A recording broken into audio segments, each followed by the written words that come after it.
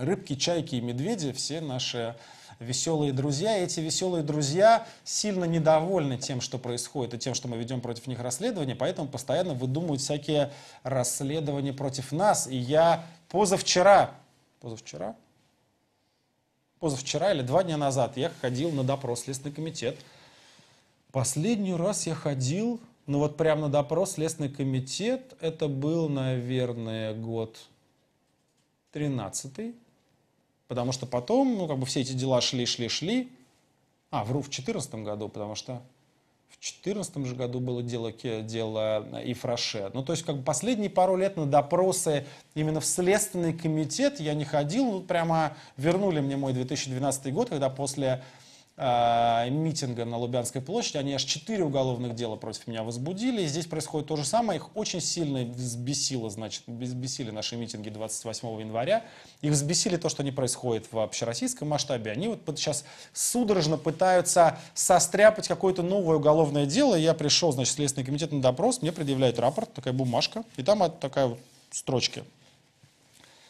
Рапорт такому-то полицейскому, от такого-то полицейского – Гражданин Навальный АА при задержании на Тверской улице оказал сопротивление и нанес мне удар. Я несколько раз перечитал, сейчас точно нанес своей левой ногой удар по моей правой ноге в области колена, чем причинил мне сильную физическую боль. Ну, то есть это даже следователь не может читать без смеха, но на самом деле рапорт лежит вот такая пачка материалов – судебно-медицинская экспертиза объявлена. Этот несчастный страдающий полицейский, сейчас там будет тоже такой том, какая-то гематома, степень боли и все остальное. И я даже нашел этого полицейского на видео, сейчас короткий мы вам видеоролик покажем, у нас буквально 32 секунды, ну и суматоха, и можно увидеть этого майора полиции, который, значит, где-то вот внутри того, что происходит, э, я его жестоко бью своей левой ногой по его правой ноге 32 секунды.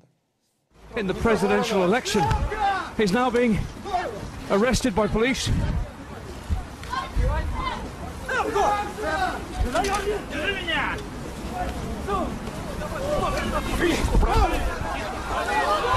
Alexander Miley is being bundled into a police van.